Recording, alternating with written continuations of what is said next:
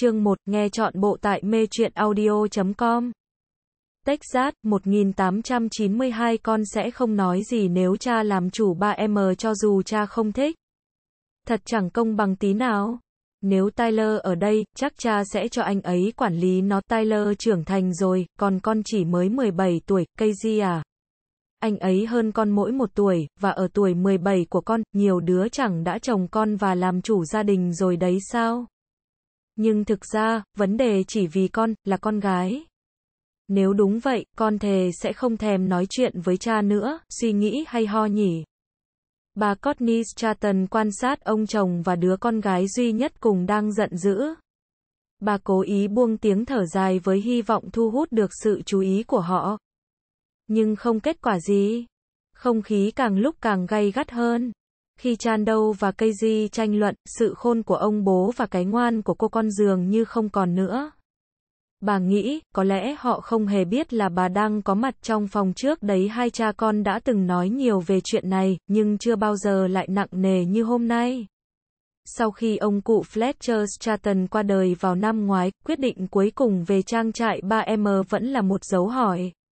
Rõ ràng nó thuộc về ông Chan đâu, nhưng cụ Fletcher hiểu rõ con trai mình nên đã thêm vào di chúc một điều khoản. Nếu Chan đâu từ chối thừa kế, trang trại 3M sẽ được chia đều cho ba cháu nội ông Chan đâu không cần đến gia tài đó. Trang trại K, C của ông cũng đang phát triển thuận lợi. Ông luôn muốn chứng minh cho cụ Fletcher thấy khả năng thực sự của mình không thua kém gì cha. Có thể ông chưa làm chủ nhiều mẫu đất nhưng cũng đã có hàng đàn gia súc, ngôi nhà của ông còn rộng gấp đôi nhà cụ Fletcher 2 trang trại 3M và K. C nối liền nhau tạo thành một vùng đất rộng lớn ở bang Texas này. Vì chúng thuộc về hai cha con ông Chandau và cụ Fletcher, nên dân địa phương đều cho rằng đó chỉ là một. Chỉ riêng hai cha con lại không nghĩ vậy. Ngay cả khi cụ Fletcher đã mất, Chan đâu vẫn nhất định không sáp nhập 3M và K, C vào với nhau. Song vậy cũng không có nghĩa là ông sẽ cho phép con gái mình quản lý nó. Chan đâu đang rất tức giận, còn cây cũng nhất định không thua. Nàng vẫn nói, bất chấp hậu quả nàng giống cha cả về hình dáng lẫn tính tình. Anh trai nàng, Tyler 18 tuổi và cậu em Dylan 14, đều có mái tóc vàng, riêng Casey tóc đen tuyền và cao khoảng 1m70. Nàng là cô gái cao nhất vùng này đuôi có đôi mắt là Casey thừa hưởng từ mẹ. Chúng rất đặc biệt, hệt như hai viên ngọc màu hổ phách, sáng ngời, dịu dàng. Đối với cư dân miền Tây, nàng là mẫu phụ nữ chuẩn mực tuy có hơi muộn chuyện chồng con, vì nơi đây các cô gái thường lấy chồng rất sớm nếu như tính tình điềm đạm. Nhẹ nhàng hơn thì cây di sẽ là một cô gái vừa xinh đẹp vừa đầy nữ tính. Có điều, nàng không bao giờ chịu ở yên. Dù đứng hay ngồi nàng đều luôn ngọ nguậy, khoa chân múa tay khi nói chuyện, thích chạy nhảy hoặc xải những bước chân dài, như đàn ông. Còn trong lúc nàng trầm lặng, suy tư người ta sẽ thấy rõ đôi mắt mở to dễ thương, làn da mịn màng dám nắng, sống mũi cao thanh tú. Đôi lông mày hơi dày, vầng trán bướng bỉnh giống cha, lưỡng quyền hơi cao, nhưng những nét này không dễ nhận ra. Điểm mạnh nhất ở nàng và cũng là điểm giống ông Chan đâu nhất, chính là khả năng che giấu cảm xúc. Vì thế không dễ biết nàng đang thực sự nghĩ hoặc cảm nhận điều gì.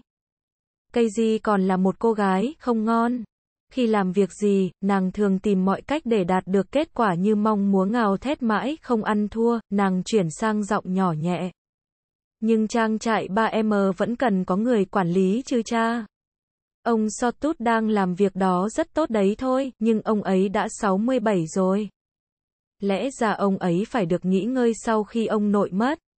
Ông Sotut chỉ đồng ý trông coi trang trại 3M cho tới khi cha tìm được người thay thế nhưng tìm đâu ra một người sẵn sàng chịu trách nhiệm mà không đòi hưởng nửa số lợi nhuận trong khi chính cha lại từ chối gánh vác nó, ở đây cha đã có đủ thứ chuyện đau đầu rồi. Cha không thể một mình gánh vác cả hai cùng một lúc, nhưng con có thể làm được, cha biết rõ điều đó mà. Một phần vì ba em sẽ thuộc về con nên con có quyền, con chưa đủ 18, cây gì à? Con muốn biết 18 tuổi để làm gì cơ chứ? Và cũng chỉ còn vài tháng nữa con sẽ tròn 18, con, điều cần thiết với con lúc này là nên nghĩ đến chuyện lấy chồng và bắt đầu cuộc sống của chính mình. và sẽ không thể làm được điều đó nếu con nhận quản lý trang trại, lấy chồng, cô gái khịt khịt mũi, chỉ một vài năm thôi mà cha, chỉ đến khi anh Tyler tốt nghiệp trường đại học thôi. Cha cũng đã biết khả năng của con. Chính cha dạy con tất cả mà. Con biết cách quản lý, biết cách, đó chính là sai lầm lớn nhất của cha đấy. Ông Chan đâu lầu bầu, không, không phải thế. Bà Courtney cuối cùng cũng lên tiếng. Anh muốn con gái có thể xử lý được mọi tình huống khi chúng ta không ở bên nó thôi, chính xác đấy, ông Chan đâu nói, chỉ khi nào chúng ta không ở bên nó thôi, nhưng con muốn làm việc này. Vậy cha hãy nói rõ lý do con không nên đi, con không hiểu ư, ông Chan đâu cau mày. 40 gã chăn bò ở trang trại đó đời nào chịu tân lệnh một cô gái trẻ. Và lại, đây cũng là thời điểm thích hợp để con tìm lấy một tấm chồng. Con sẽ không tìm được ai nếu như luôn chúi mũi vào việc tính toán thu chi của trang trại, ngày nào cũng ướt đẫm mồ hôi và bẩn thỉu, cây di giận dữ. Lại lấy chồng, nàng nói với giọng diễu cợt, suốt hai năm qua, quanh vùng này làm gì có anh chàng nào xứng đáng lọt vào mắt con. Hay cha muốn con cưới bất cứ ai? Nếu vậy, có đến cả tá đàn ông phù hợp đấy. Ngày mai con sẽ kiếm một sợi dây thừng, nếu như đó là cái cần đến để bỏ cái kiểu đùa vô duyên ấy đi, con nói hoàn toàn nghiêm túc đấy, cây di khẳng định. Cha sẽ cho phép chồng con quản lý ba em mờ chứ? Điều đó hoàn toàn hợp lý mà. Được rồi, con sẽ có ngay một chàng rể cho cha, không muộn hơn, không, con không thể lấy chồng chỉ để giúp đỡ con trong việc tính toán sổ sách. Trong, vậy mà con đã tự làm việc đó một mình suốt mấy tháng nay đấy cha. Có lẽ cha không biết ông So Tút sắp quỵ đến nơi rồi. Ông ấy luôn bị đau đầu và mệt mỏi vì phải gắng sức kiểm tra sổ sách đến lượt ông Chan đâu đỏ mặt giận dữ. Tại sao không một ai nói cho tôi biết việc này nhỉ? Có lẽ vì mỗi khi ông Sotut đến đây tìm cha thì cha lại đang ở đâu đó. Hay có lẽ vì cha không thèm đặt chân đến 3M để phát hiện ra điều này. Hoặc vì cha chẳng muốn quan tâm gì tới nó. Dù ông nội đã qua đời nhưng cha vẫn cảm thấy khó chịu với những kỷ niệm về ông, Keiji, bà Courtney kinh hoàng kêu lên mặt Keiji tái nhợt. Nàng biết mình đã đi quá xa và vội vàng bỏ chạy trước khi cha kịp nổi giận bà Courtney cố thuyết phục chồng rằng do Keiji bồng bột chứ thật sự không định nói ra những lời như vậy. Nhưng ông chỉ mím chặt môi bước đi, bỏ lại bà một mình trong phòng. Ông đi về khu chuồng ngựa sau nhà, còn cây di thì đã chạy ra đằng cổng trước thật tồi tệ, lẽ ra ông không nên để cho cuộc tranh cãi kết thúc như vậy. Nói ra những lời đó hẳn cây di cũng cảm thấy có lỗi nhưng nó phải nói bởi muốn thay đổi suy nghĩ của ông. Lẽ ra ông nên giải thích cho nó biết là ông không muốn thấy con gái bị tổn thương nếu gặp thất bại, mà theo ông. Thất bại dường như cầm chắc những nhân công ở 3M có thể chấp nhận cây di một thời gian vì họ biết nàng là cháu nội cụ Fletcher. Nhưng rồi sẽ có những người mới. Họ chỉ biết cây di là chủ và tệ hại hơn, lại là một cô gái trẻ. Họ không biết cụ Fletcher. Mối bất đồng thế nào cũng xuất hiện mọi chuyện có thể khá hơn một chút nếu cây di là một phụ nữ già dặn, một bà quá hay gì gì đó tương tự. Đàn ông thường không muốn nghe lời cô chủ trẻ, nhất là lại chưa chồng nhưng ông không muốn đề cập đến chuyện đó. Sẽ là bà Courtney, song phải đợi vài ngày, cho tới khi cây di bình tĩnh lại.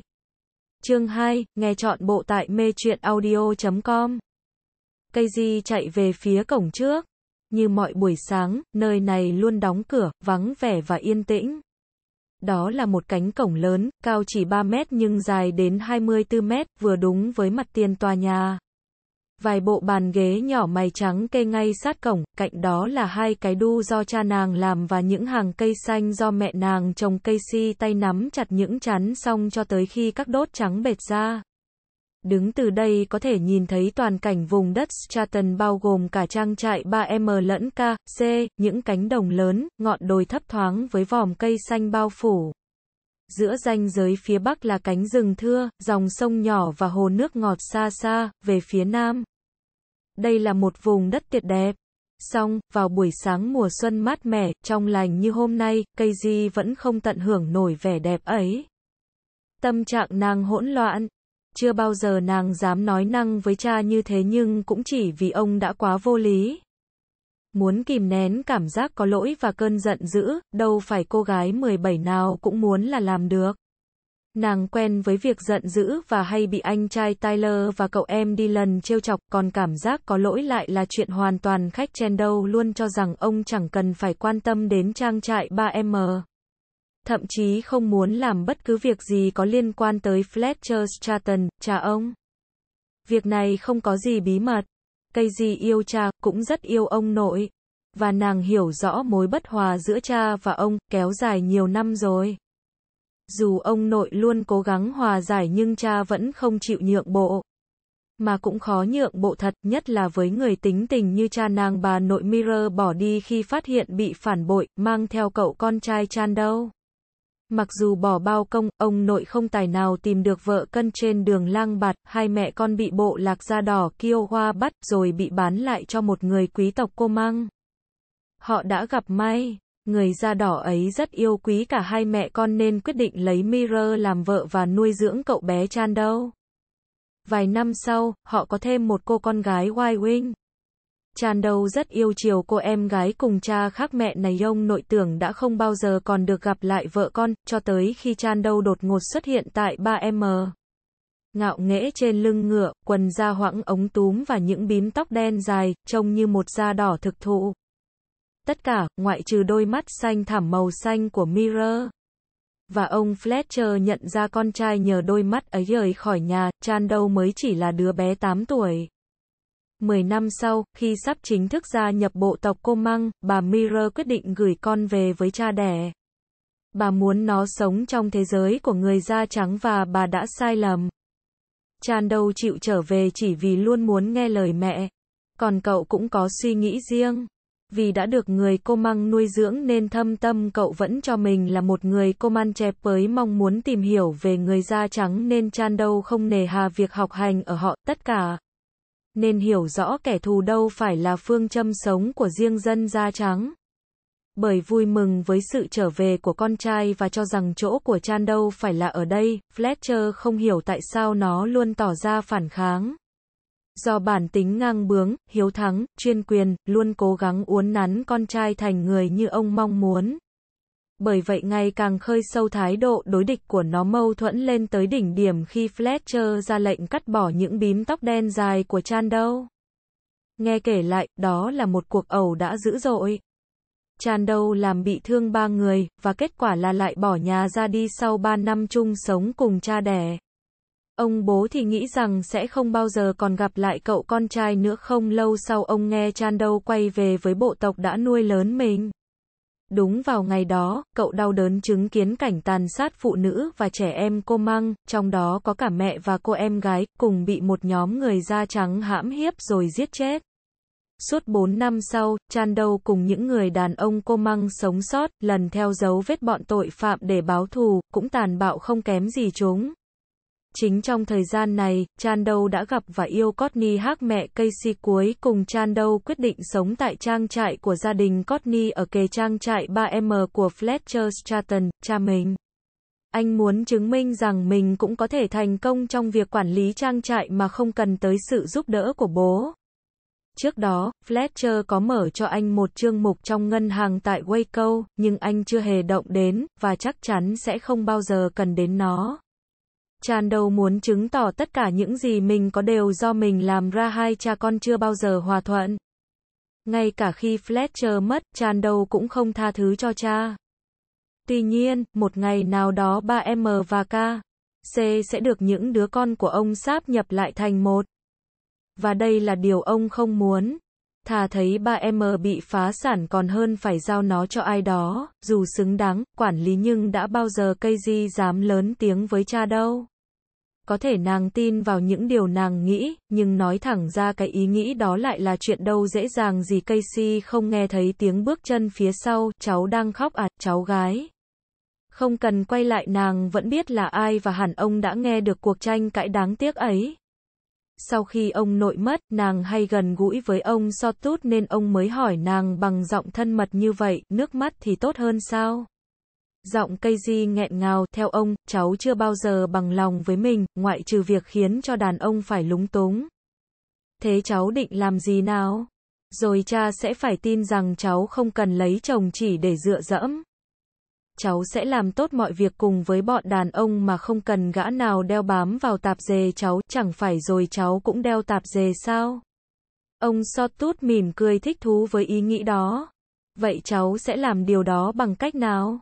Kiếm một công việc không dành cho phụ nữ, công việc phù hợp với phụ nữ không có nhiều đâu, cháu gái ạ, à, cháu muốn nói hoàn toàn không phù hợp cơ. Thậm chí nguy hiểm mà không một phụ nữ nào dám làm. Oakley không phải là nữ đấu sĩ bò tót sao? Ông có nghe nói về cô gái đó, hình như cô ta có nhan sắc của một gã đàn ông xấu trai. Nhưng không phải cháu đang nghĩ đến việc ngu ngốc đó chứ? Ngu ngốc hay không, không quan trọng. Vấn đề chính là phải làm một việc gì đấy. Cha cháu chẳng bao giờ chịu thay đổi suy nghĩ đâu. Ông ấy rất bảo thủ, và tính cách này thừa hưởng từ ai thì chúng ta đều đã, ông so Sotut khịt khịt mũi. Mặc dù luôn là bạn tốt của Fletcher nhưng ông cũng không thể phủ nhận điều này, ông không thích nghe giọng điệu đó của cháu đâu, vâng, thật tệ quá, Casey lầm bầm, cháu không đòi cha cháu phải cho phép. Cũng không muốn chứng tỏ bản thân, cha cháu biết rõ khả năng của cháu mà. Vì vậy, cháu cần suy nghĩ kỹ đã, lạy chúa. Những hành động quá khích luôn làm ông e ngại đấy, cháu gái ạ. À. Chương 3, nghe chọn bộ tại mê audio com Hình như đằng trước có ánh lửa. Vậy là ở đó có người. Đã hai ngày Damian chưa hề gặp một ai. Vào lúc này anh mong mỏi gặp được bất kỳ ai có thể chỉ cho anh con đường đến được thị trấn gần nhất anh bị lạc đường. Người ta bảo miền Tây giờ đây đã được khai hóa văn minh. Đối với anh, văn minh bao gồm con người, nhà cửa, đường phố và rất nhiều thứ khác nữa chứ không phải hết dặm này đến dặm khác chỉ toàn là đồng không mông quạnh thế này miền đất này không giống. Và có số dân ít hơn nhiều, so với những thành phố anh đã từng qua. Lúc đầu mọi việc đều suông sẻ khi anh quyết định khởi hành từ New York bằng tàu lửa. Nhưng đến bang Kansas, vận may bắt đầu rời bỏ anh chuyến tàu Katy thuộc tuyến đường sắt Missouri, Kansas và Texas tuần đó không chạy được do gặp sự cố trong một vụ cướp tàu. Đầu máy và đoạn đường dây dài khoảng 45 mét bị phá hỏng. Người ta nói với anh, tại đây, các tuyến xe ngựa vẫn hoạt động. Nếu thế, Damian nghĩ, anh chỉ phải vượt qua một quãng đường ngắn bằng xe ngựa và có thể lên được chuyến tàu khác tại thị trấn sau. Có điều anh không biết ngành đường sắt không còn sử dụng đoạn đường đó suốt 5 năm qua, hầu hết mọi người trên tàu đều ở lại chờ đến lúc đầu máy và đường dây được sửa chữa xong. Riêng Damian thì không đủ kiên nhẫn. Và đó chính là sai lầm tồi tệ nhất. Anh nhận ra điều này khi thấy mình là hành khách duy nhất trên xe ngựa. Chắc phải có một lý do nào đó nên mọi người mới tránh xa loại phương tiện cũ nát này giữa các thị trấn thuộc bang Kansas vẫn có một số tuyến xe ngựa khác nữa nhưng đường sắt lại không đi ngang qua đó. Và lại gần đây ở vùng này có xảy ra vài vụ cướp xe ngựa. Song Damian không được biết. Chỉ khi tới điểm dừng xe lấy nước, người đánh xe ngựa mới vui miệng kể cho anh nghe. Và rồi anh cũng cảm thấy con đường này dường như không được an toàn cho lắm, khi nghe tiếng súng nổ, anh biết điều gì sắp xảy ra. Người đánh xe không dừng lại, cố chạy thoát khỏi bọn cướp. Nhưng với loại xe cũ kỹ và cồng kềnh như thế này thì đó chỉ là một cố gắng vô ích mà thôi. Damian không rõ vì sao anh ta đổi hướng chạy. Xe ngựa lao nhanh qua nhiều dặm đường trong quang cảnh mờ mịt và tiếng súng nổ phía sau. Rồi cỗ xe khựng lại đột ngột. Đầu anh đập vào tay nắm cửa bằng kim loại. Đó là điều cuối cùng anh còn nhận biết được. Vài giờ sau, tiếng mưa rơi đập vào thùng xe khiến Damian tỉnh lại. Quanh anh là một màn đêm bao phủ. Khi cố bò ra khỏi thùng xe bị lật nghiêng, anh nhận thấy chỉ còn một mình giữa nơi hoàn toàn xa lạ Damian không biết lũ ngựa đã bị sổng hay bị lấy cắp, người đánh xe cũng chẳng thấy đâu. Có thể anh ta bị bọn cướp bắt, cũng có thể anh ta vẫn còn sống và đang đi tìm người giúp đỡ. Không còn lại một dấu vết nào. Máu từ vết thương trên đầu vẫn rỉ ra khá nhiều. Anh chán nản nhặt nhạnh đồ đạc bi rơi vãi khắp nơi và nhét chúng vào cái túi du lịch đêm đó. damien phải chịu đựng cảnh gò bó khổ sở trong thùng xe nơi duy nhất còn tương đối khô ráo. Hôm sau cũng chẳng may mắn hơn gì. Vào giữa trưa mới tỉnh giấc nên anh không thể xác định được phương hướng qua ánh mặt trời. Thật ra, anh cũng chẳng biết mình phải đi theo ngã nào nữa. Ngay cả dấu vết của con đường cũ hôm qua cũng hoàn toàn bị xóa sạch sau một đêm mưa gió đồng hồ cùng tất cả tiền bạc trong ví và túi du lịch đều mất sạch. Tuy nhiên, anh vẫn còn một ít tiền bên trong áo khoác. Đó có lẽ là sự đền bù nho nhỏ trong tình trạng hiện thời. Damian tìm thấy một bi đông nước treo cạnh thùng xe và một tấm áo choàng cũ mốc meo dưới gầm ghế. Đơn độc giữa nơi hoang vắng xa lạ, những đồ vật này bong chốc trở nên vô cùng quý giá anh quyết định đi về phía nam, theo hướng thị trấn anh phải tới. Nhưng đây chỉ là phương hướng không xác định vì anh đang đi trên một con đường quanh co. Có lẽ anh đã đi quá xa về phía tây hoặc phía đông. Cũng có thể anh đã đi qua thị trấn đó mà không hề hay biết. Anh hy vọng tìm thấy một con đường mòn, nhưng không thể cả ngày đầu tiên, Damian không có chút gì trong bụng, không có súng nên anh cũng không thể săn bắn để kiếm thức ăn. Sinh ra và lớn lên ở thành phố nên anh chưa bao giờ tưởng tượng được rằng sẽ có lúc mình phải cần đến nó như lúc này. Anh bước tới một vũng nước nhỏ để rửa những mảng máu bết trên tóc và gột đi các vết bẩn trên bộ quần áo còn ẩm nước mưa. Đêm đó, anh chìm vào giấc ngủ với cái bụng đói meo đầy nước trôm sau, cơn đau buốt ở vết sưng tấy trên đầu đã bớt hành hạ anh, nhưng những vết rộp ở bàn tay, bàn chân do sách túi và đi bộ quá nhiều bắt đầu nhức nhói.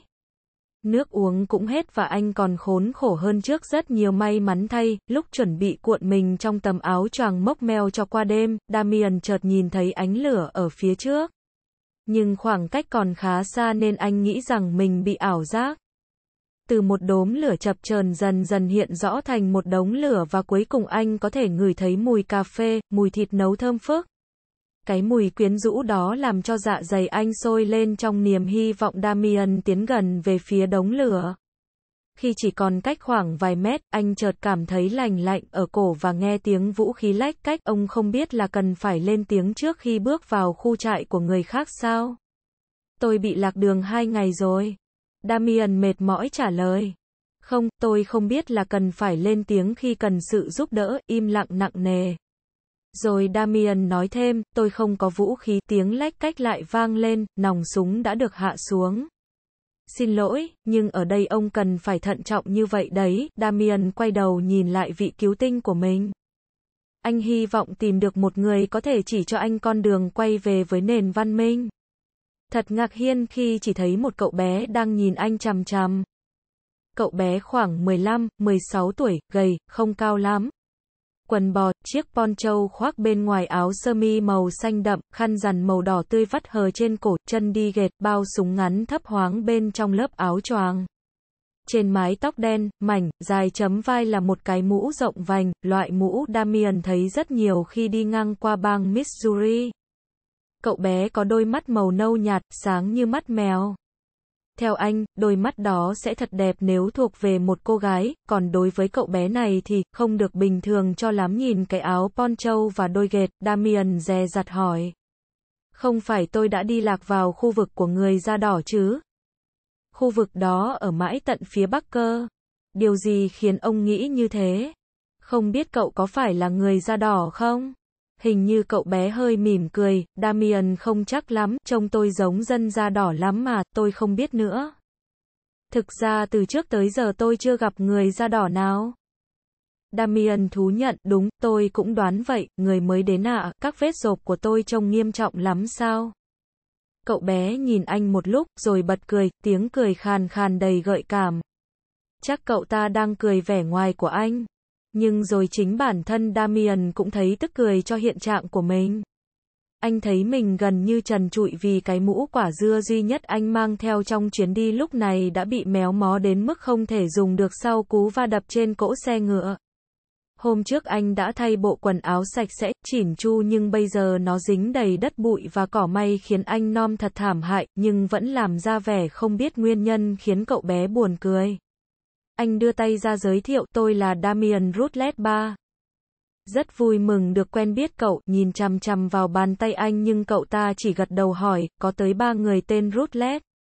Ngay sau đó cậu phẩy tay ra hiệu bỏ qua vì mấy câu hỏi của mình thật ngớ ngẩn. Ông đừng bận tâm, thức ăn đang nóng lên đấy. Được rồi, ông có thể cùng ăn uống và nghỉ ngơi trong lều với tôi đêm nay. Cậu nói thêm với một nụ cười nhẹ nhàng, hơi kiểu cách, hình như ông đang rất đói. Damian phấn chấn hẳn lên vì dạ dày anh đã sôi ủng ục ngay từ lúc ngửi thấy mùi thức ăn. Mặc dù muốn hỏi han nhiều điều nhưng tâm trí anh lúc này chẳng còn nghĩ được gì ngoài cái bụng đói cồn cào. Vì thế, anh không hề đắn đo khi bước lại gần đống lửa thực ra, ở đây có tới hai đống lửa. Đống to vẫn đang cháy rực soi sáng cả một khoảng không gian, còn đống nhỏ được dùng để nấu nướng. Bếp là hố nhỏ đào sâu xuống đất cùng bốn viên đá đặt quanh làm giá đỡ cho một vỉ sát. Lửa đã tắt, chỉ còn lại đám than hồng để món thịt hầm không bị cháy, bình cà phê đặt bên góc bếp, còn góc kia đặt hộp đựng 6 cái bánh quy và hộp đậu. Đây quả là một bữa tiệc thịnh soạn đối với Damian lúc này, món thịt gì vậy? Anh hỏi khi cậu bé đưa cái đĩa cho cà gô đồng hoang, trong nồi có hai con nhưng chúng không được béo lắm. Cậu bé cho vào đĩa một con gà, ba cái bánh quy và nửa hộp đậu. Damian vội vã xúc ăn ngay, nhưng lập tức anh nhận ra mình đã dùng cái đĩa duy nhất, còn cậu bé thì đang ăn ngay trên bếp, xin lỗi, anh vừa mở miệng đã bị cậu ngắt lời, không sao đâu. Ở đây nhiều bát đĩa là quá xa xỉ. Hơn nữa, chúng ta còn có cả dòng sông dưới kia để tắm gội cơ mà tắm gội ư, nghe mới tuyệt làm sao. Thế cậu có xà phòng không? Ở đây không phải lúc nào cũng có những thứ ông cần. Nếu muốn tắm gội, ông hãy dùng bùn, giống như mọi người vẫn làm ấy. Nó sẽ gột sạch bụi bẩn, thật quá hoang sơ, anh nghĩ, nhưng trong tình thế này đành phải vậy thôi. Tuy nhiên bữa ăn quả ngon tuyệt trần đời, cảm ơn cậu đã san sẻ thức ăn cho tôi. Chắc chắn tôi sẽ không thể đi thêm được nếu không có tí gì vào bụng, cậu bé lại thoáng mỉm cười, Damian không dám chắc đó có phải là một nụ cười thực sự hay không? Ông có biết ông đã sơi hết suất ăn của tôi rồi không? Còn suất ông đang ăn là bữa ăn sáng của tôi đấy. Sáng mai chúng ta sẽ ăn nốt những gì còn lại để khỏi mất thời gian nấu nướng. Sau bữa tối, khi bụng khá no, tính tò mò trở lại, Damian gợi chuyện. Tôi vẫn chưa được biết tên cậu, cậu bé liếc đôi mắt nâu nhạt nhìn anh rồi tiếp tục rót cà phê. Có thể do tôi chưa nói cho ông biết, nếu cậu không muốn thì tôi không có tên, cậu bé cộc lốc cắt lời. Hay ít ra tôi chưa bao giờ biết đến một cái tên, đó không phải những gì Damian mong được nghe. Nhưng cậu phải có một cái gì đó để gọi chứ. Mọi người thường gọi tôi là Kit một. Cậu nhún vai trả lời, ra thế. Damian mỉm cười. Đó là cái tên thường thấy trong danh sách tội phạm ở miền Tây và đều có kèm theo một cái tên khác. Là Billy the Kid à? Cậu bé khịt khịt mũi, tôi đủ lớn để làm những việc tôi muốn, thế là sao? Cậu đưa cho anh cốc cà phê. Và suýt chút nữa anh đã đánh đổ nó khi nghe. Tôi săn tìm những kẻ tội phạm, tôi, không nghĩ cậu lại là cảnh sát. Ý tôi là cậu không thực sự giống, cái gì? Một viên chức luật pháp, ra là ông định nói tôi không giống cảnh sát trưởng chứ gì? Ồ, không đâu, ai lại đi bầu một thằng nhóc như tôi? Damian cũng nghĩ như vậy và đó là lý do tại sao anh đã quá đỗi kinh ngạc. Vậy tại sao cậu làm nghề này? Anh nhã nhặn hỏi, tất nhiên để lĩnh tiền thưởng rồi, lời lãi gì không? Damian cho rằng cần phải giải thích rõ câu hỏi nhưng rồi một lần nữa anh ngạc nhiên khi nghe câu trả lời. Rất nhiều, cậu bé này quả là rất thông minh, anh nghĩ, vậy cậu đã tóm được mấy tên rồi. Nam, cho đến hôm nay, tôi thấy có một lệnh truy nã, Damian nói. Thực ra anh có nhận được nhiều hồ sơ tội phạm gồm toàn các lệnh truy nã. Chúng đều không đưa ra số tiền thưởng cho những ai bắt được bọn tội phạm dù còn sống hay đã chề phải không? Nếu ông muốn hỏi tôi đã giết bao nhiêu tên trong số đó thì câu trả lời là không. Ít ra là chưa. Tuy vậy tôi cũng làm cho vài tên bị thương rồi đấy, cậu đừng có đùa, bọn chúng là những kẻ rất nguy hiểm phải không? Kít lại hơi mỉm cười, nhưng không hẳn là nụ cười tươi. Đôi khi, nhưng chúng cũng biết cái này không phải là đồ chơi, chỉ trong nháy mắt, khẩu súng đã xuất hiện trong tay cậu. Bình thường cậu giấu nó dưới lớp áo poncho. Damian không nhìn thấy cậu rút nó ra như thế nào, vâng, súng đạn luôn luôn có cách thu hút sự chú ý của mọi người. Damian thừa nhận tuy nhiên Kit vẫn còn quá trẻ để làm công việc này. Mà nếu cậu ta có lớn hơn vài tuổi nữa thì anh vẫn thấy như vậy thôi. Thông thường, những đứa trẻ mới lớn đều thích chứng tỏ bản thân qua các hành động liều lĩnh. Bất chấp nguy hiểm Damian mở to mắt nhìn khẩu súng trên tay Kit cho tới khi cậu ta cất nó đi và rót cho mình một cốc cà phê. Cậu sống gần đây, Damian tiếp tục hỏi, không, thế có ai sống gần đây không? Lời nói nhấn mạnh của anh làm cho Kit mỉm cười thích thú. Và giống như lần trước, nó có vẻ gợi cảm, khác xa với nụ cười của một chàng trai. Nếu Damian không biết rõ, nếu không phải vẫn đang nhìn thẳng vào Kit, anh sẽ nghĩ rằng, một cô gái đã trốn vào vóc dáng đó mà anh không nhìn thấy. Lẽ ra, cậu bé này phải có thêm biệt danh là dễ thương cái tên nghe dường như hợp với phụ nữ hơn.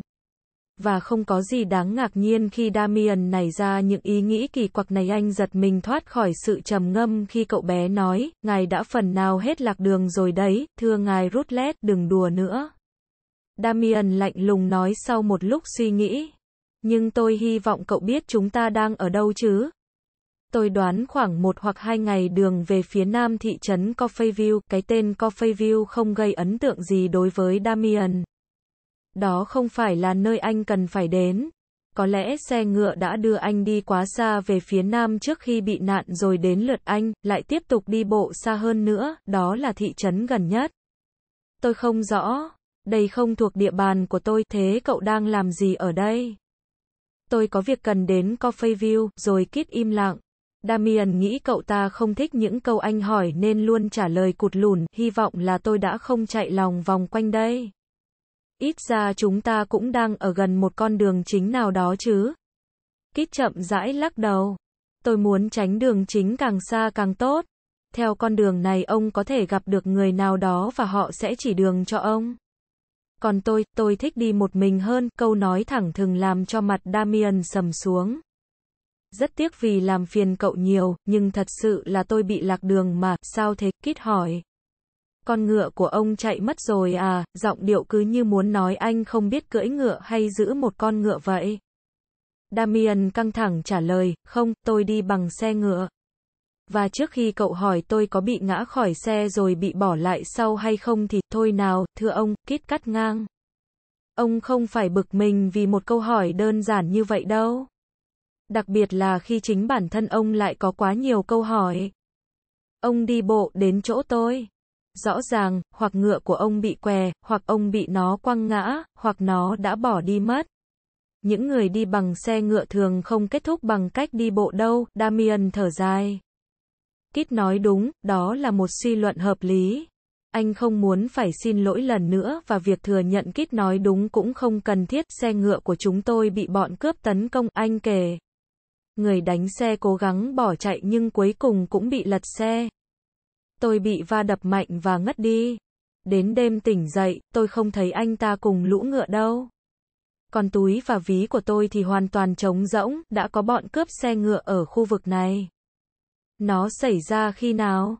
Kít hỏi ngay, hôm kia, bây giờ chắc bọn chúng đã đi xa mất rồi, cậu ta thở dài thất vọng, cái gì? Cậu còn muốn chúng ở lại đây nữa sao? Damian cau mày, cảnh sát trưởng thị trấn Wells hứa thưởng lớn cho những tin tức về chúng. Và việc giáp mặt chúng sẽ bổ sung thông tin cho lệnh truy nã, đúng vậy, và tôi hy vọng những tin tức đó giúp công việc của cậu được dễ dàng hơn, dễ hơn ư, không đâu, chỉ nhanh hơn thôi. Tôi cho là công việc truy bắt tội phạm cũng giống như một món tiền thưởng, bất ngờ nhưng thú vị. Còn bây giờ trở lại vấn đề của ông, ông Rutledge. Cái gì đưa ông đến miền Tây này vậy? Sao cậu nghĩ tôi đến từ miền Đông? Nụ cười hiện rõ trong đôi mắt nâu nhạt lấp lánh màu hổ phách qua ánh lửa chập chờn khi kít ngắm nhìn anh từ đầu tới chân. Tự nhiên tôi đoán thế thôi, nhận ra vẻ cau có trên gương mặt anh, cậu mỉm cười nói thêm, người miền Đông dường như rất thích những chuyến du lịch về miền quê hoang dã. Và ông là một trong số đó. Damian nhăn mặt, không, tôi đang trên đường đến Texas để giết một người, một kít. Còn có nghĩa là cậu bé, thằng bé. Chương 4, nghe chọn bộ tại mê audio.com trong anh lại hiện lên toàn bộ sự việc xảy ra vào đêm mùa xuân 6 tháng trước cái đêm đầy kinh hoàng đã làm sắp đổ một phần cuộc sống của anh. Hôm ấy, lúc đầu mọi việc khá suôn sẻ. Damian đã gửi hoa tặng Winai trước khi đến đón cô đi ăn tối, chiếc nhẫn đính hôn do anh vẽ kiểu cũng được làm xong từ buổi sáng. Và mặc dù nạn tắc nghẽn giao thông thường xuyên xảy ra trong thành phố nhưng anh vẫn đưa được cô đến nhà hàng đúng giờ. Bữa ăn tối diễn ra thật tuyệt vời.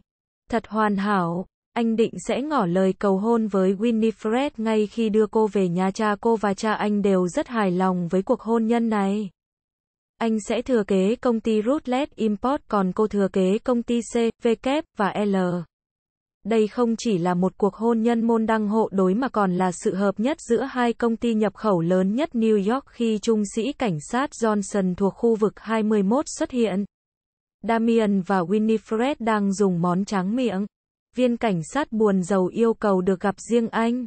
Hai người bước ra hành lang và khi cuộc nói chuyện kết thúc, Damian đã bị sốc mạnh không còn nhớ đến sự có mặt của Winifred, anh phóng vội về văn phòng công ty Rutledge Import. Tại đây đèn đóm đều bật sáng trưng văn phòng thường đóng cửa vào khoảng 5 giờ chiều, nhưng thỉnh thoảng một số nhân viên vẫn nán lại để hoàn thành nốt công việc, trong đó có cả cha anh. Nhân viên quét dọn thường kết thúc công việc muộn hơn, nhưng hiếm khi nào muộn như hôm nay. Khi anh đến, trong văn phòng chỉ có mặt các nhân viên thuộc Sở Cảnh sát thành phố New York một xác người treo trên cột cờ trong căn phòng rộng với trần nhà khá cao. Bên cạnh cửa là hai cột cờ với nhiều đường trang trí hoa văn đỡ lấy một giá treo các chậu cành. Lá quốc kỳ Mỹ thường được treo tại đây vào tháng 7 hàng năm. Lúc này các chậu cảnh ở một bên cột cờ đã bị quăng ra chỗ khác để lại những chiếc lá dập nát, bẩn thỉu trên tấm thảm màu kem, còn xác chết được buộc vào chính chỗ đó, đang đu đưa. Nhờ được xây bằng gạch và thép chắc chắn nên cột cờ này không bị cong xuống dưới sức nặng hơn 90 ken tuy nhiên, có một cái gì đó thật không bình thường. Mũi giày chạm sàn nhà, nhưng hai bàn chân trần không đi tất với khoảng cách đó có thể cho phép người chết trống trên đầu ngón chân trong một thời gian ngắn. Hai cánh tay không bị trói. Rõ ràng đôi cánh tay khỏe mạnh đó có thể dễ dàng bấu vào cột cờ giữ không cho sợi dây thít chặt vào cổ. Còn cái ghế được đặt dưới chân cột cờ ngay trong tầm với chứ không bị đá ra xa, hãy đỡ ông ấy xuống đi, không ai nghe thấy tiếng Damian. Lúc ở bên ngoài, ba cảnh sát cũng đã ngăn không cho anh vào văn phòng cho tới khi họ biết anh là ai. Còn mọi người trong văn phòng đang bận rộn xem xét hiện trường nên không ai chú ý đến giọng nói tắt nghẹn của anh, Damian thấy mình cần phải hét đỡ ông ấy xuống đi. Quả nó gây được sự chú ý. Một sĩ quan cảnh sát giận dữ. Anh là đồ chết tiệt nào thế hả? Mắt Damian không rời khỏi xác người chết, tôi là con trai ông ấy, anh nghe thấy vài giọng nói suýt xoa thương xót khi họ đưa xác ông Damian Rutlet hai xuống. Những lời nói vô nghĩa, lạc lõng càng làm buốc thấu nỗi đau. Cha anh, người anh thật sự yêu quý trên trái đất này, đã chết. Anh chẳng còn người thân nào nữa mẹ anh ly dị, rồi bỏ đi theo người tình khi anh còn nhỏ. Từ đó Damian không gặp và cũng chẳng muốn gặp lại mẹ. Bà đã và sẽ không bao giờ có chỗ đứng trong trái tim anh. Nhưng cha anh, Winifred cũng không khiến Damian bận tâm nhiều lắm. Anh dự định kết hôn với cô, nhưng không yêu cô. Anh hy vọng cuộc hôn nhân giữa hai người sẽ tốt đẹp. Bởi tuy không yêu nhưng anh không có điều gì phàn nàn về cô. Winifred xinh đẹp, có học thức và chắc sẽ là một người vợ, người mẹ tốt. Thực ra anh cũng mới quen biết cô không lâu. Nhưng còn cha anh thì, rõ ràng là tự sát rồi, anh nghe thấy có tiếng nói, còn có cả bức thư nữa này, và bức thư, được chìa ra trước mặt Damian, cha đã cố gắng vượt qua sự việc này, Damian ạ. Nhưng cha không thể. Hãy tha lỗi cho cha, anh giật lá thư trên tay viên cảnh sát, chăm chú đọc đi đọc lại. Nét chữ trông có vẻ giống nét chữ hơi run run của cha anh. Dường như lá thư bị nhét vào một cái gì đó ví hoặc tay chẳng hạn, anh tìm thấy nó ở đâu thế? Damien hỏi, ngay ở giữa bàn kia, rất dễ nhìn thấy, trên cái bàn đó có rất nhiều đồ dùng văn phòng phẩm mới. Tại sao bức thư này lại bị nhàu nát nếu như nó được viết ra chỉ trước khi, anh không thể nói được hết câu. Viên cảnh sát chỉ nhún vai không trả lời có người chợt đưa ra giả thiết có thể ông ấy đã giữ nó trong người suốt mấy ngày nay cho tới khi ông ấy quyết định và mang theo cả sợi dây thường kia nữa phải. Không, Trong văn phòng này không hề có vật nào như thế, vậy thì rõ ràng ông ấy đã mang nó theo. Tôi biết, anh Rutlet ạ, thật không dễ dàng khi phải chấp nhận sự thật là người thân của anh tự sát. Nhưng điều đó lại xảy ra. Anh có biết, ông ấy không thể vượt qua cái gì như trong thư đã viết không? Không, cha tôi không có lý do gì khiến ông phải tự sát, Damian khẳng định, ồ, nhưng hình như ông ấy có lý do đấy, ánh mắt Damian trở nên u ám, ảm đạm. Các anh cho rằng đây là vụ tự sát. Thậm chí các anh cũng chẳng xem xét đến khả năng cha tôi bị sát hại. Bị sát hại, viên cảnh sát hạ giọng. Có nhiều cách giết người nhanh chóng và dễ dàng hơn việc sắp đặt thành một vụ treo cổ đấy.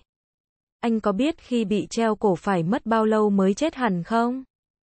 Nếu bị gãy cổ thì cái chết có thể đến nhanh hơn. Nhưng ông ấy không có dấu vết như vậy, trừ phi tên giết người muốn vụ này giống một vụ tự tử, nếu ông ấy bị một phát đạn vào đầu thì cách này rõ là trò bịp bợm. Anh nhìn xem, có dấu hiệu nào chứng tỏ ở đây xảy ra vật lộn không? Rõ ràng hai tay cha anh không bị trói, ông ấy có thể chống cự lại nếu bị treo cổ lên như vậy. Thế theo anh, để treo người to lớn như cha anh trong khi ông ấy phản kháng quyết liệt thì phải cần đến bao nhiêu người? Một hoặc hai sẽ không thể làm được. Ba hay nhiều hơn nữa. Lý do tại sao? Vì động cơ gì?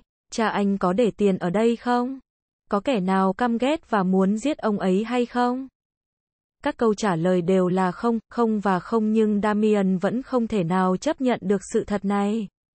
Cảnh sát rút ra kết luận dựa vào những bằng chứng họ có trong tay, anh không thể đổ lỗi cho họ. Chỉ dựa vào lời nói của anh thì việc gì họ phải điều tra kỹ hơn trong khi có thể kết thúc vụ này để tiếp tục giải quyết vụ án khác. Anh biết, nếu cứ thuyết phục họ thì đây là một vụ án mạng cần phải điều tra thêm thì chỉ làm lãng phí thời gian của cả anh và họ nhưng Damian vẫn cố thử. Anh kiên trì thuyết phục họ suốt hơn 2 tiếng đồng hồ. Và khi nhân viên điều tra về cái chết bất thường xuất hiện, các cảnh sát lần lượt chào anh để ra về. Họ quả quyết với anh rằng đã xem xét kỹ nhưng anh, một kẻ đang đau khổ vì mất người thân, vẫn không chịu tin đến giữa đêm Damian mới trở về nhà. Một tòa lâu đài cổ, quá rộng lớn đối với cả hai cha con anh. Đây cũng là lý do anh không chuyển ra ở riêng khi đã đến tuổi trưởng thành. Hai cha con anh sống cùng nhau như những người bạn, không xen vào chuyện riêng của nhau, luôn gần gũi và thân thiết. Damian đưa mắt nhìn khắp ngôi nhà và nhận thấy là nó quá trống trải. Sẽ không bao giờ anh còn được ăn sáng cùng cha trước khi đi làm. Không bao giờ anh còn được cùng cha đọc sách và tranh luận về những tác phẩm văn học cổ điển vào mỗi đêm. Và sẽ không bao giờ cha con anh còn được bàn chuyện công việc trong bữa ăn tối nữa. Sẽ không bao giờ, Damian cố nuốt những giọt nước mắt mặn chát vào trong, nhưng không thể. Người giúp việc thường không ở lại vào ban đêm nên không ai nhìn thấy sự suy sụp khủng khiếp của anh lúc này. Nó khác xa với vẻ nghiêm nghị, cứng rắn thường ngày. Anh rót cho mình một ly rượu đầy, loại rượu chỉ dùng khi bị mất ngủ, và bịt mũi uống cạn, với ý nghĩ duy nhất trong đầu là nhất định phải tìm ra sự thật vì không chấp nhận việc cha anh tự sát. Dù không có một bằng chứng, không có một dấu hiệu vật lộn nào nhưng Damian biết ông bị sát hại. Anh rất hiểu ông Damian Rutledge hay không phải là người thích quanh co, giả dối. Ông luôn luôn thể hiện tình cảm thật của mình.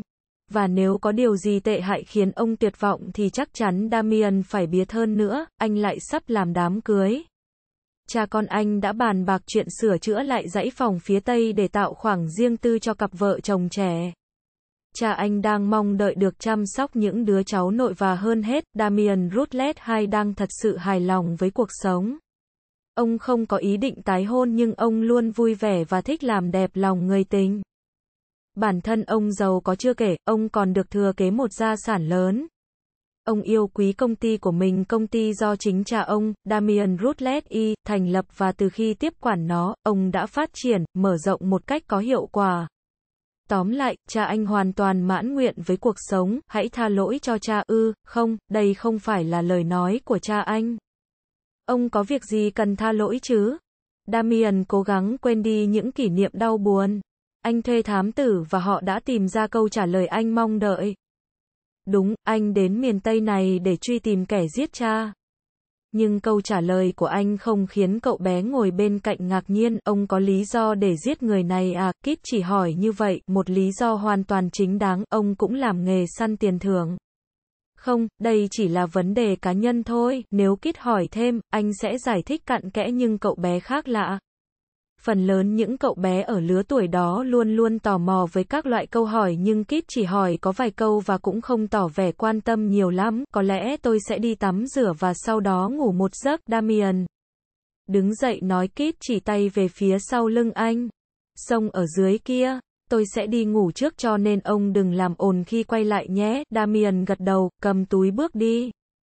Anh còn nghe thấy giọng nói phía sau và hãy coi chừng rắn đấy, cùng tiếng cười khúc khích. Thằng bé thật quá quát. Anh nghiến răng bực mình. Vậy mà anh sẽ phải đi cùng nó suốt ngày mai hoặc thậm chí vài ngày nữa. Chương 5, nghe chọn bộ tại mê truyện audio.com. Mùi cà phê đánh thức Damian dậy. Cả người mỏi như vì phải nằm trên nền đất cứng. Có lẽ anh chỉ mới chợp mắt được một, hai tiếng. Anh hé mắt nhìn bầu trời đầy sao đã có sắc màu xanh sáng ở phía đông, nơi mặt trời sắp mọc. Đêm qua anh không tài nào ngủ được mặc dù rất mệt. Chính vì vậy sáng nay anh cảm thấy không dễ chịu cho lắm sau khi cha mất, 6 tháng qua, sự căm giận cùng nỗi đau buồn luôn khiến anh mất ngủ. Anh thường xuyên sống trong tâm trạng phải tìm ra sự thật và công lý phải được thực thơ thám tử tư đã tiến hành điều tra tỉ mỉ, và khá nhanh chóng. Đêm xảy ra chuyện, quán cà phê gần công ty Rutlet Import vắng khách. Một người bồi bàn nhìn thấy hai gã đàn ông lực lưỡng rời khỏi văn phòng công ty Rutlet. Anh chú ý vì thấy họ dường như không sống trong khu vực này, và ngẫu nhiên, anh ta lại là một họa sĩ nghiệp dư. Chỉ cần chút tiền thưởng, anh ta đã phát họa được chân dung cả hai gã đó bức vẽ vừa được thông báo quanh các khu vực trong thành phố đã có ngay kết quả. Một trong hai tên đó đã bị bắt và khai ra toàn bộ sự việc. Thậm chí trước khi tóm được gã này, chính Henry Carader đã từng nằm trong diện bị nghi ngờ Damian không muốn tin Carader có liên quan tới vụ án. Hắn làm kế toán trong công ty của cha anh hơn 10 năm nay. Là một gã đàn ông khoảng 40 tuổi, nhỏ bé, khiêm tốn, chưa kết hôn, hắn chăm sóc và sống cùng bà cô già ở phía đông thành phố. Hắn chưa bao giờ nghỉ làm một ngày.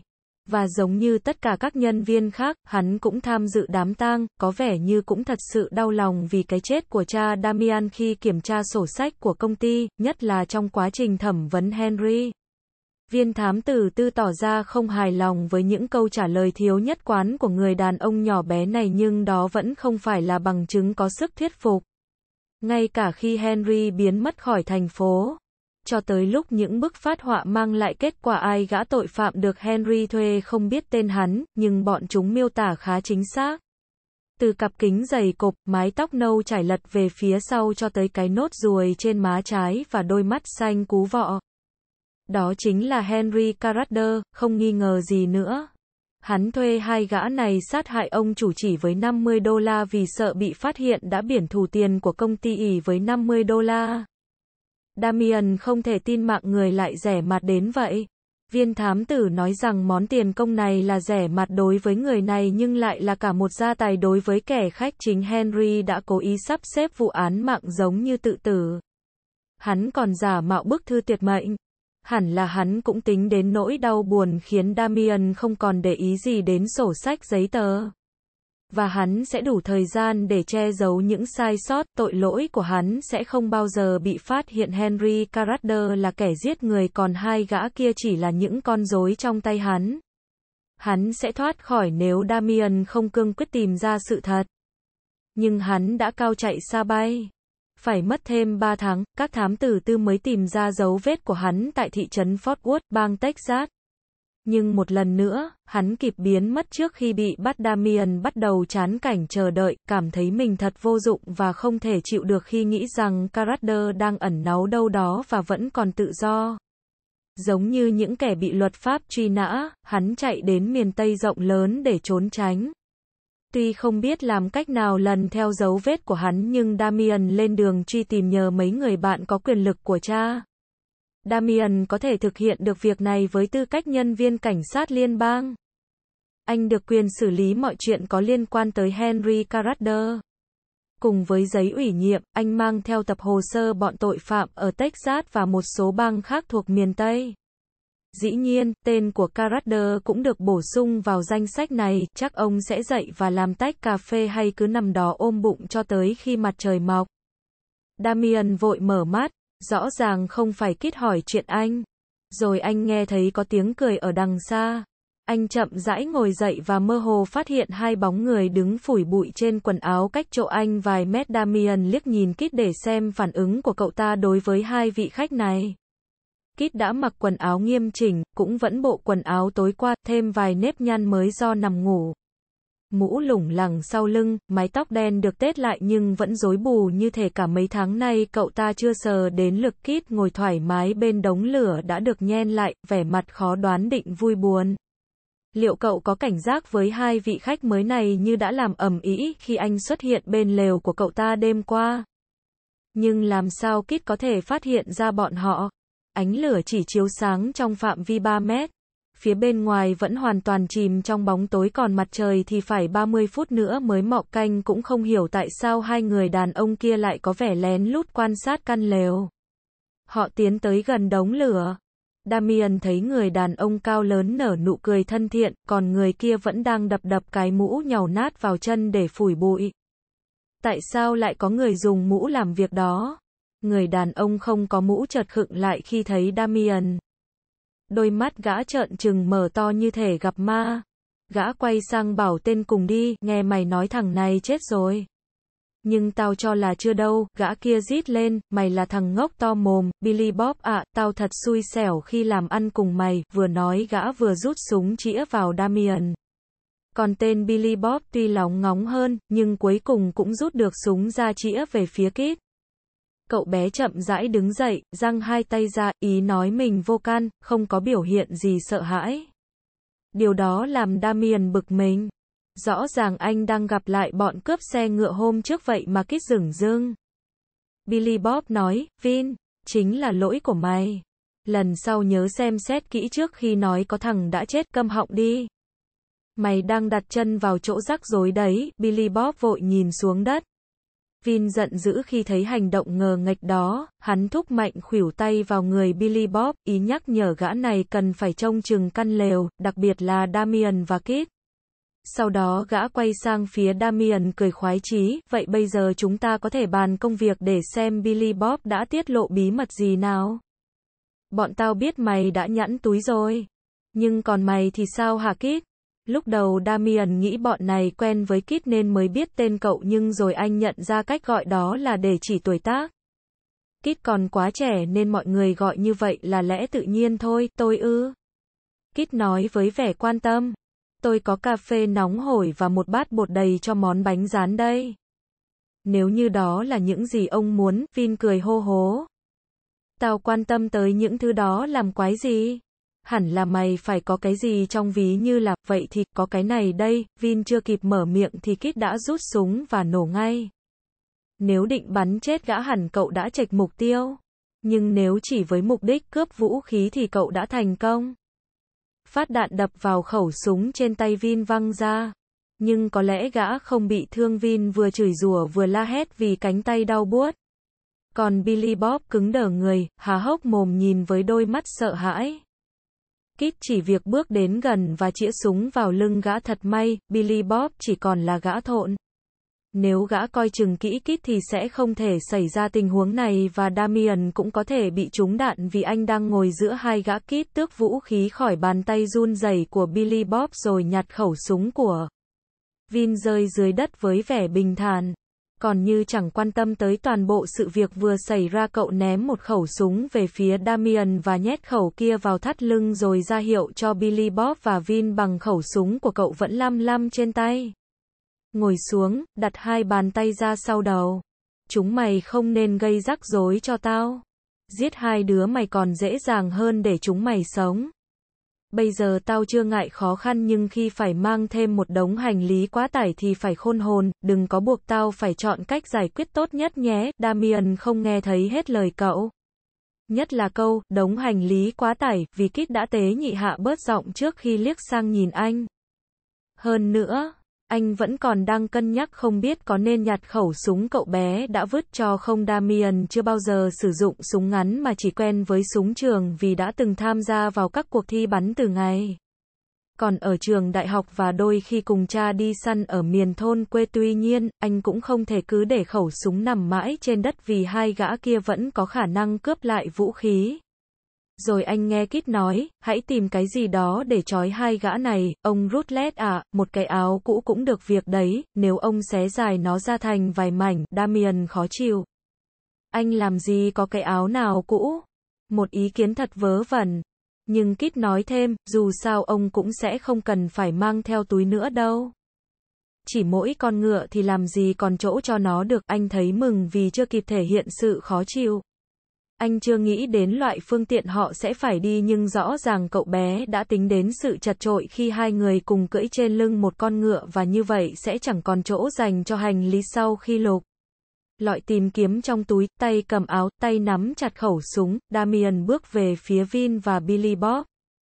Kit đưa mắt nhìn ý như muốn nói anh nên xé áo ra và tự mình trói hai gã kia.